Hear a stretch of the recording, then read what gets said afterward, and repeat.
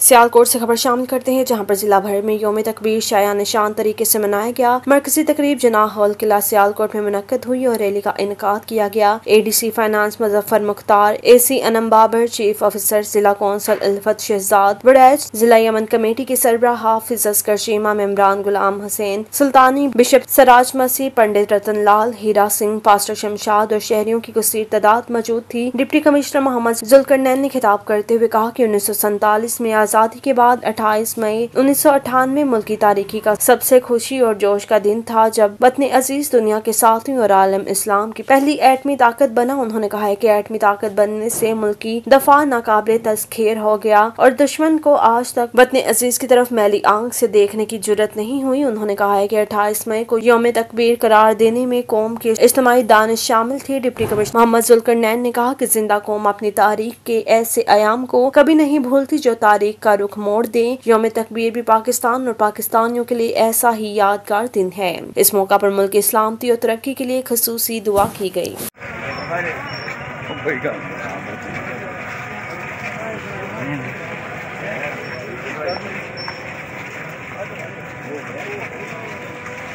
मेजबान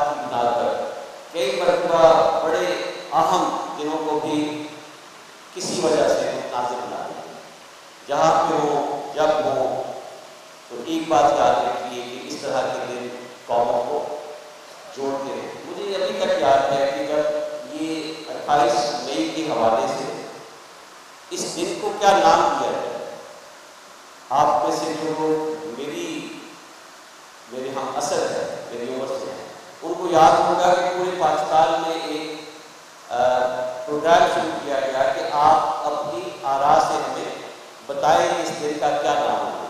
बहुत से लोगों ने इसमें पार्टिसिपेट किया और मुझे याद है कि शायद हर शख्स ने इसमें पार्टिसिपेट किया।